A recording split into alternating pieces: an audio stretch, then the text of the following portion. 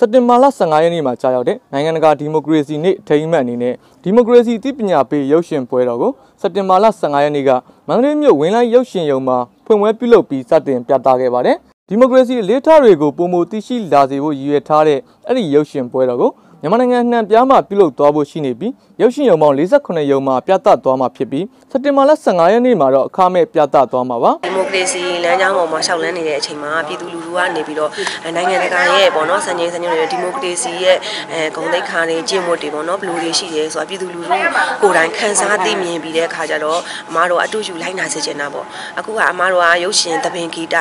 ပေါ့နော်ပွဲရတော့သုံးမျိုးချင်းမှချင်းဖြစ်ပါတယ်ဒီကနေ့ကတော့အမတို့မြန်မာဒီမိုကရေစီရုပ်ရှင်ပွဲတော်အဖွင့်ပွဲအခမ်းအနားဖြစ်ပါတယ်ဒီမိုကရေစီရုပ်ရှင်ပွဲတော်မှာပြသမဲ့ဇာတ်ကားတွေအနေနဲ့နေကြီးမှရွှေရီလောင်တရာစောတိဒီမိုရက်ကွက်တင်ပြသောနေ့နဲ့ကြီးမြတ်သောမြန်မာစတဲ့ဇာတ်ကား၅ကားကိုပြသသွားမှာပါအဲ့ဒီရုပ်ရှင်ပွဲတော်ကိုစက်တင်ဘာ15ရက်နေ့ကနေစက်တင်ဘာ21ရက်နေ့ထိပြုလုပ်သွားဖို့ရှိပြီးဇာတ်ကား၅ကားကိုအလဲကျစနစ်နဲ့ပြသသွားမှာဖြစ်ပါတယ်။ဒီနေ့10နာရီစမှာပေါ့နော်ကျွန်တော်ရုပ်ရှင်ပွဲချိန်တိုင်းပေါ့ 10နာရီစနစ်ခွဲ3ခွဲ6ခွဲ9ခွဲပေါ့နော်အဲကျွန်တော်တို့9ခွဲပြပါမယ်နောက်16ရက်နေ့ကစပြီးတော့21ရက်နေ့ထိအဲကျွန်တော်ကျွန်တော်အခကြေးငွေကျွန်တော်တို့ယူပြပါမယ်ကျွန်တော်တို့ခါတဲ့ရုပ်ရှင်ပြတယ်လို့ပဲ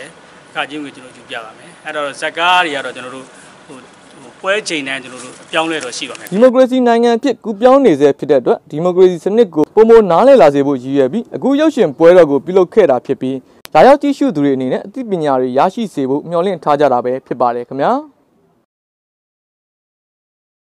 Thank you.